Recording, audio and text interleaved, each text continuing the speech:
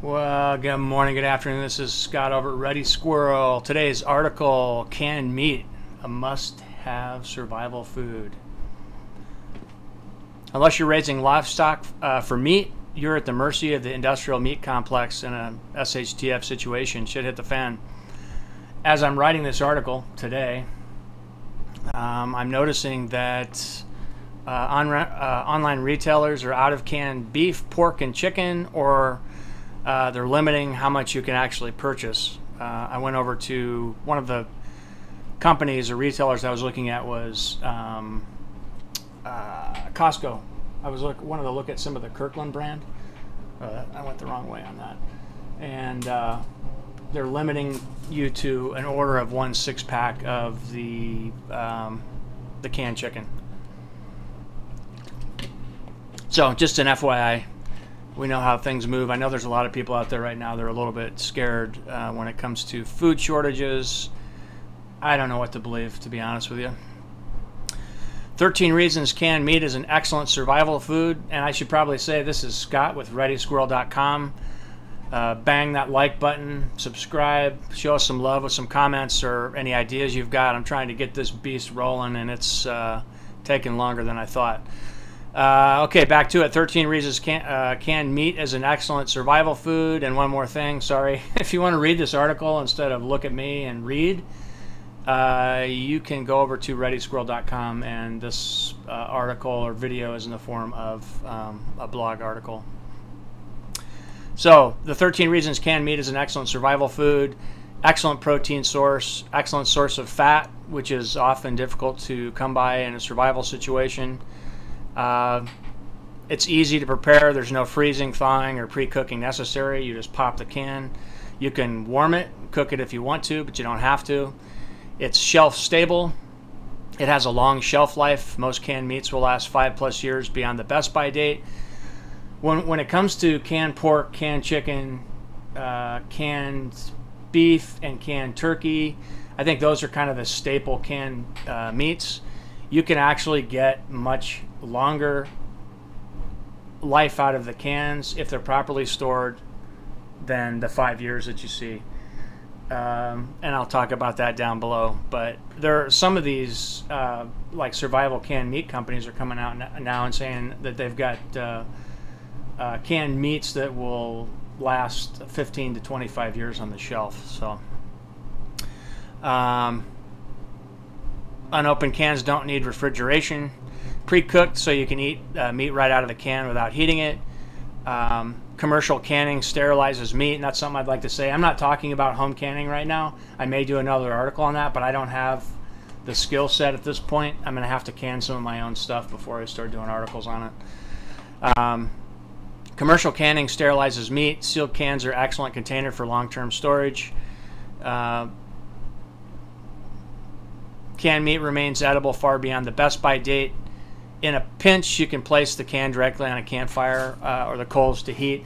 There's some, uh, you know, some of these cans have kind of a rubber lining, so you know you may be dealing with uh, with the can exfoliating some chemicals. But in an emergency situation, if you want it heated, that may be your only option. Uh, perfect for the Federal Emergency uh, Management Agency FEMA 72-hour emergency kit. Uh, canned meat's excellent for rotation in a long-term survival pantry, and canned meat loses very little, little of its nutritional value in the canning process. Tip when storing meats for long-term uh, storage or for a long shelf life, avoid mixed meat soups that include vegetables or tomatoes. These ingredients reduce shelf life. I'm not saying don't you know don't keep canned soup, don't keep uh, like you know Dinty Moore stew, uh, stew and stuff like that. But you should also have some just meat stored because it does have a longer shelf life. Um, tip: canned meat and oil has the most calories and nutrition. Warning: I think most of us know this, but just to, to get it out there, once canned meat is open, it must be eaten immediately or must be refrigerated. Um, for this reason, choose cans with a serving size that can be eaten in one meal if you don't have refrigeration.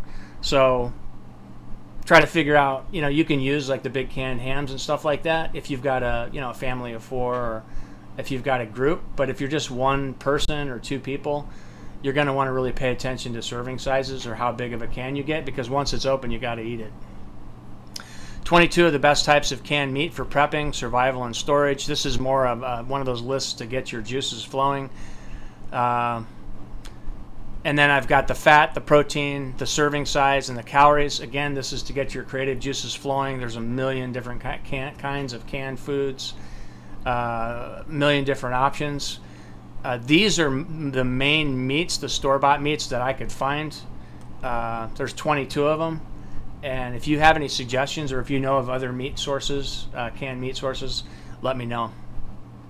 Uh, tuna and water, uh, turkey, salmon, canned sardines, canned shrimp, canned oysters, canned anchovies, uh, canned crab meat, canned mackerel, kippered herring, canned chicken, canned roast beef, canned spam uh, canned ham, canned bacon, canned hamburger, uh, pulled pork, deviled ham spread, pate, Vienna sausage, potted meat, and corned beef. I don't know if that's exhaustive or not. That's all I could find.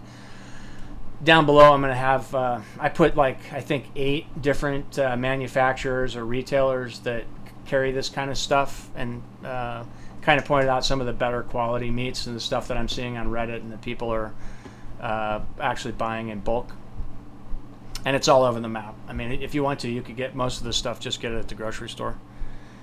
Uh, how do you use canned meat? You can make anything with canned meat that you can with fresh meat, or just about. Uh, just think of it as an ingredient in the meals you make, but just with one less step. You don't have to cut the meat up. You don't have to cook it.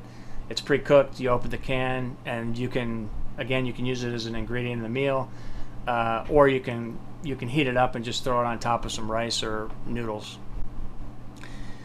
Uh, there's so many ways to use canned meats, it's impossible to give a comprehensive list. Uh, the following are some ideas to give you, or again, to get your creative juices flowing. I need to think of another term. That's even starting to annoy me.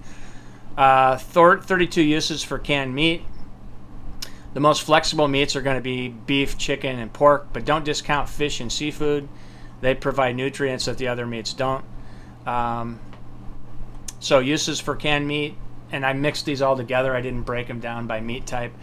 Uh, eat pre-cooked meats cold out of the can. Heat and eat. Mix with rice and or beans. Mix into cooked pasta. Eat on a cracker or bread. Uh, mix with forage salads or produce from the garden. Pork, beef, and chicken can be used in the same recipes you use for fresh meat.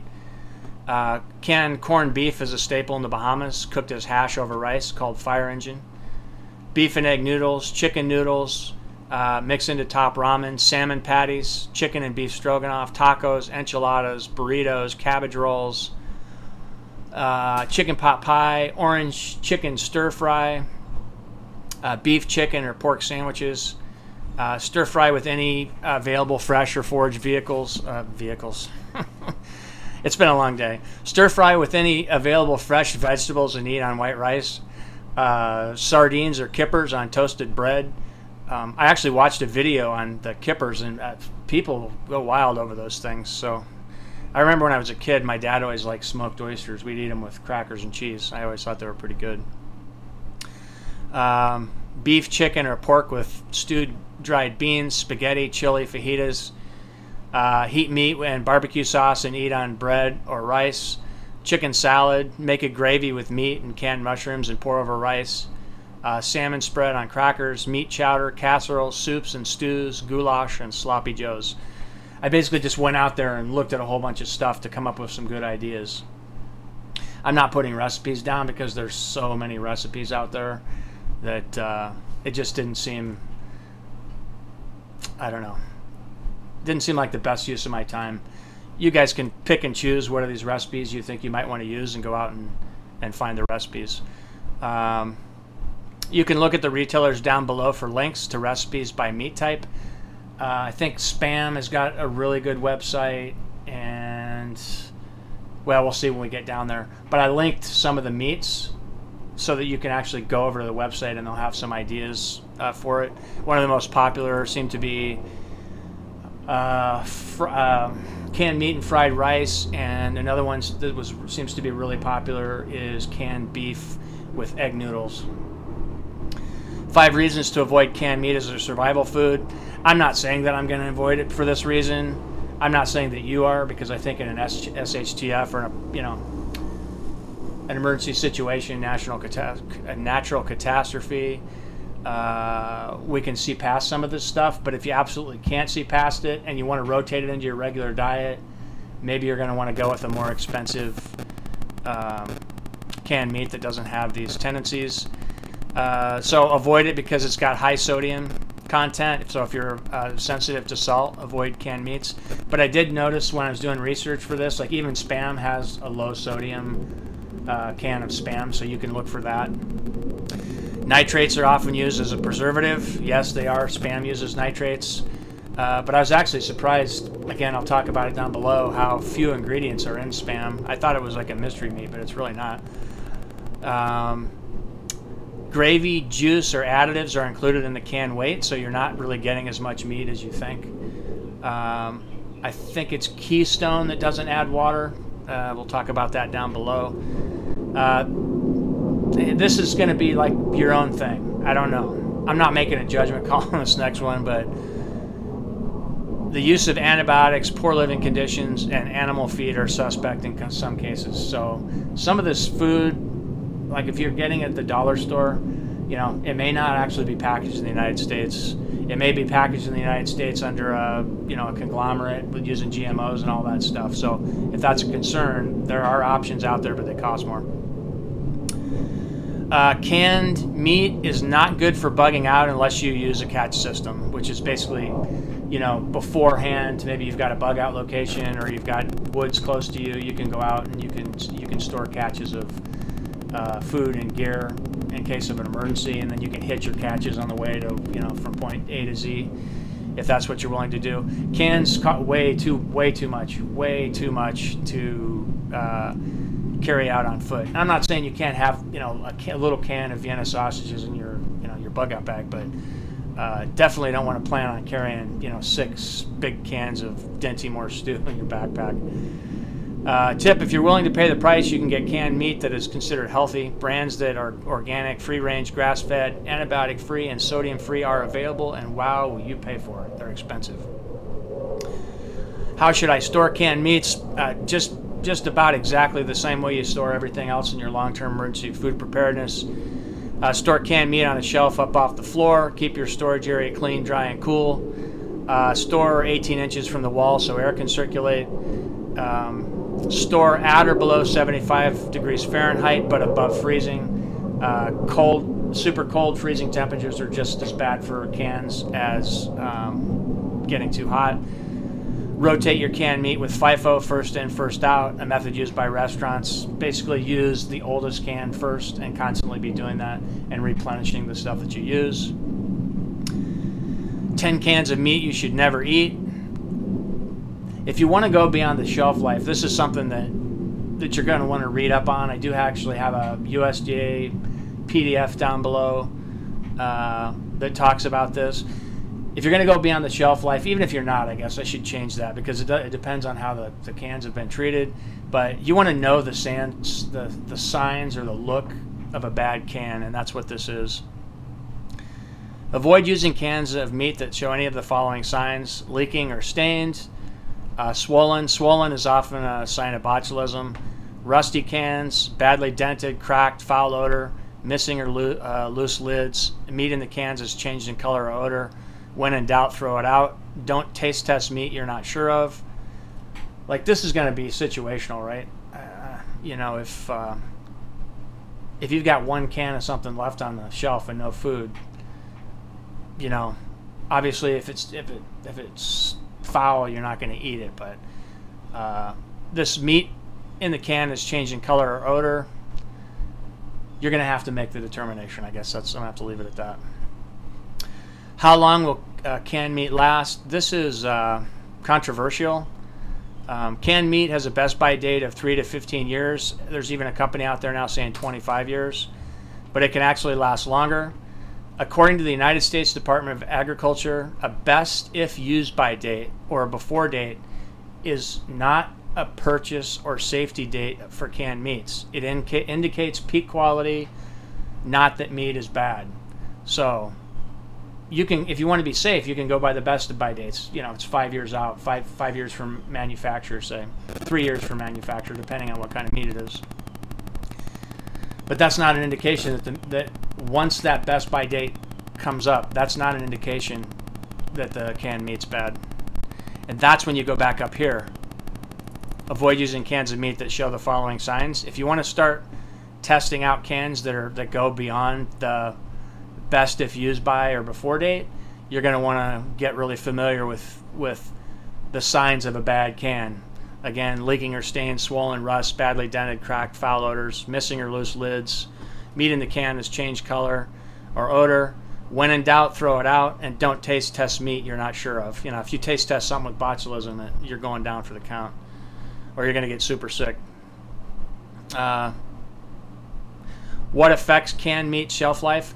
So I think this is where the controversy comes to play. So you've got a best by date, and that best by date is only going to really be good if you've followed the best practices of food storage we talked about before. So if you're not looking at what a bad can is, there's really no hard fast rule as to how long a can of meat is to is to last. You know, you can actually look on YouTube right now there's a guy. Oh, geez, I wish I remembered his name. I should actually post a link on here that eats old MREs. I just watched him eat. He literally cooked it up in a pan. He ate meat from a a uh, I think it was an 1896 food ration from a can. He ate. He was eating it. I'm not advocating that, but what I'm saying is five years is is really nothing. I, I think that canned foods, canned meat, and other canned foods can last much, much longer with than that. You just have to be a little suspect. You have to be careful. You have to, you know, you have to pay attention to to the, the quality of the can and the food in it when you open it. If you're going to go by that uh, best best by date, because that's actually not mandated by law. That's something that companies just do do on their own. Okay, so what affects canned meat shelf life? The canning process, the type of meat in the can, how the can is stored, how the can is handled. You know, that goes back to if you drop a can on the floor and it busts the seal or dents it, there's a possibility that the seal somewhere in the can has been broken. That's why they say don't eat um, dented cans or food from a dented can. And the condition of the can when it's open. According to the United States Department of Agriculture, Food Safety and Inspection Service, there are three dates that may be on food products. A sell by date. That tells the store how long to display the product for sale. You should buy the product before the date expires. The best if used by date or before date, and that is re recommended for best flavor or quality. Again, it is not a purchase or safety date and is not required by law. And third, a use by date is the last date recommended for using the product while at peak quality. The manufacturer of the product has determined the date.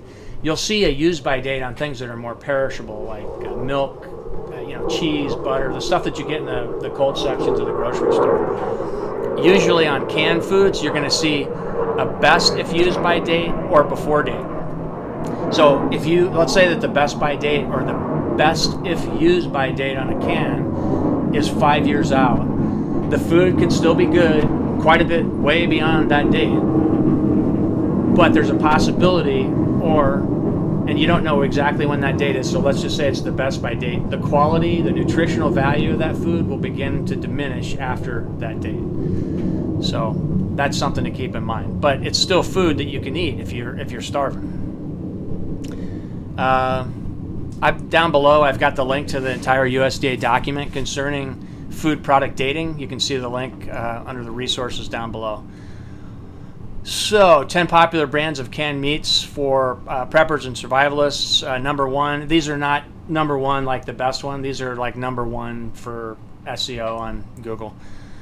Uh, Keystone, number one, packaged in Lima, Ohio with two ingredients salt and meat. Uh, I read the reviews on Keystone and pretty high reviews.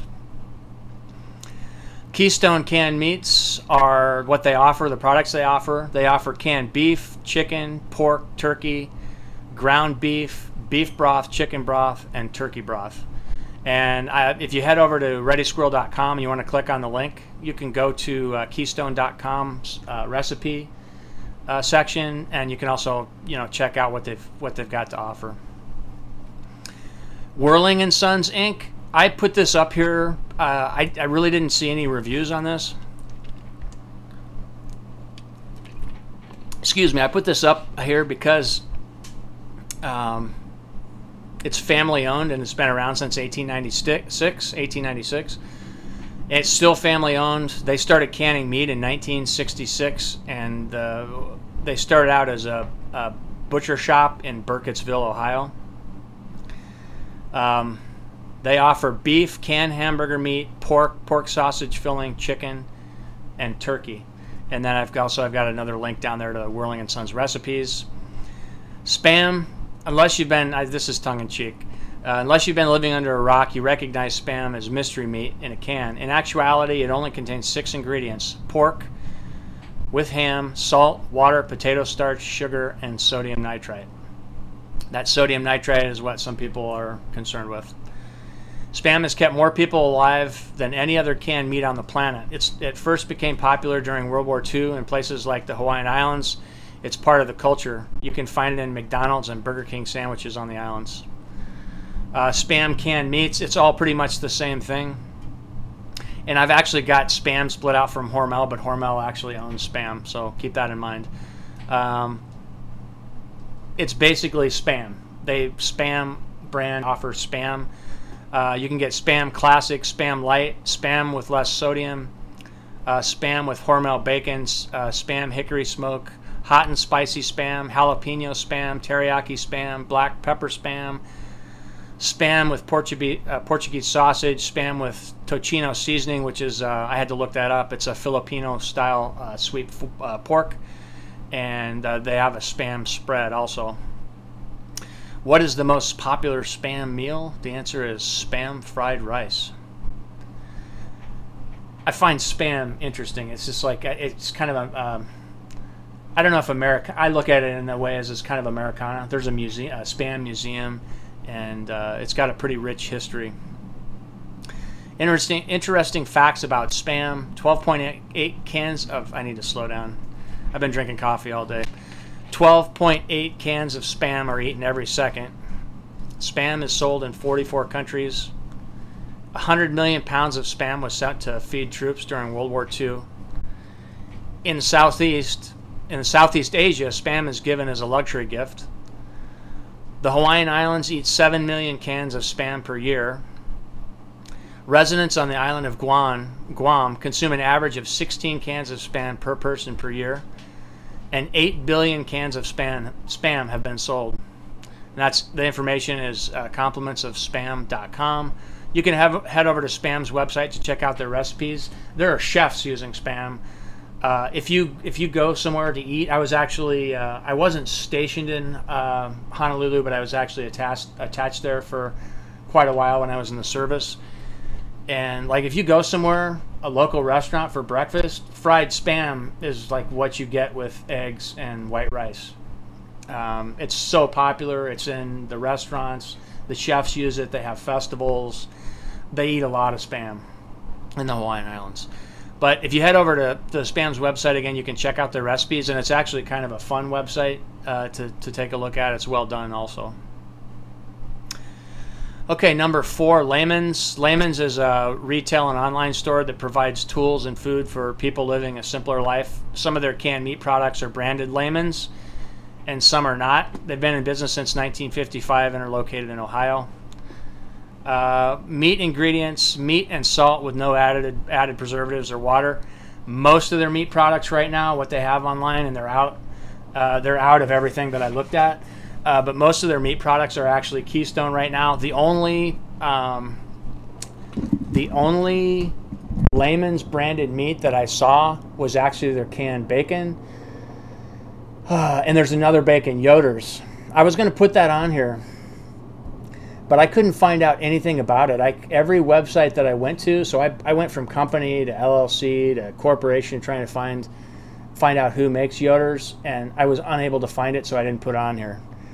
Um, I don't even know if it's if the people that are selling it, if it's like old stock, or if it's something that's still being manufactured. But anyway, if you're looking for canned bacon, when it's in stock, Lehman sells it. It's a pretty cool website. Um, they sell they also, they sell Amish products. They sell wood stoves. They sell like uh, kitchen utensils and stuff that you can use without power. So um, if you're a survival type, a prepper, off gridder, or homesteader, Lemon Lehman's makes for an interesting browse. And I just put their website. I didn't put the um, I didn't put the recipe website there. They have like 68 different canned uh, foods for emergency storage, and I think um, right now people are buying this stuff up like crazy. And I don't know if it's if we're creating a shortage because we're being paranoid or if people are continuing to buy it as usual and they're not restocking. I don't know what it is, but a lot of these websites, again, they're making you uh, back order.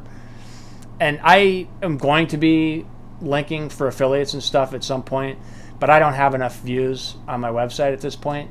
So I'm not getting paid from any of these companies. This is just really uh, value added information for you guys to help you uh, with your research to stock your long term food storage. Uh, Wertz's number five. Wertz's is uh, veteran owned, located in Tiffin, Ohio. Their canned meat is farm raised without the use of antibiotics or homo- hormones, and it's GMO free. This is a really little little website. This is kind of I don't want to say it's a mom and pop shop, but it looks like it's pretty small. But this dude's a veteran, and uh, the family has been farming the same land since 1852. This guy's a seventh generation. Uh, here's a little quote from the website. Hello, I'm Don Wertz, and I'm a proud owner of Don Wertz Family Farms and Wertz Farm Market. My Wertz family has been raising beef in Northwest Ohio since 1852. I'm the seventh generation of our family and keeping up with the family tradition. They offer uh, homegrown uh, beef and homegrown pork in a can. That's their products. And there is a link at readysquirrel.com to the Wertz recipes. So if you want to go check it out, you can easily hit the home button and go check everything else out if you want to. Uh, Kirk, Kirkland signature brand Costco. I should have done Sam's on this, but I don't use Sam's Club. I use I use Costco, but I'm gonna have actually my that's not true. My wife just changed over to Costco because or to Sam's because where I live now there is no Costco. It's like 180 miles away, but I haven't been to the Sam's yet, so I didn't do Sam's. I did Kirkland, which is Costco wholesale. If you belong, then you know about it, and if you don't, uh, look it up and see if there's one in your area. It's a little pricey to join, but I think it's worth it because the the Kirkland signature brand stuff is awesome. Uh, like our toilet paper. Uh, I drink honey in my coffee and my tea uh, uh, bulk olives in a jar. There's a ton of, of really solid products that are less expensive. And if you want to get some really good, really quality, expensive meat and stuff like that, they have they have really good produce and meat, but it's you're going to pay for it. Uh, we try to like have a list when we go into Costco, and we only get staples and we only get what we need because it's really easy to go in there and start filling your cart and blow your whole month's uh, grocery uh, bill in one go, or bill, uh, budget. Budget's the word. Okay, so uh, Kirkland Signature brand, you have to have a membership uh, to purchase from Costco. Their canned chicken is super popular among preppers, as is the roast beef. The roast beef is hard to find. I'm actually starting to think they don't make it anymore. I know people are selling it like on Amazon, but there's nothing about it on the Costco.com. So um, I'm not sure. I can't answer that. I couldn't find any information saying we have quit making it. Uh, Costco also offers other canned meats in bulk, like uh, Libby's Vienna sausages, canned albacore tuna, and wild caught sardines and olive oil. Their stock is always changing, so you'll have to check them out to see what they have. Uh, you can order Costco online. You don't have to have a, a retail store. We like to go to the store, so that's why we're shifting to Sam's Club. Uh, Costco wholesale canned meats, Kirkland signature premium chunk chicken breast, Kirkland signature sol- uh, solid white albacore tuna, and Kirkland signature wild Alaskan pink salmon.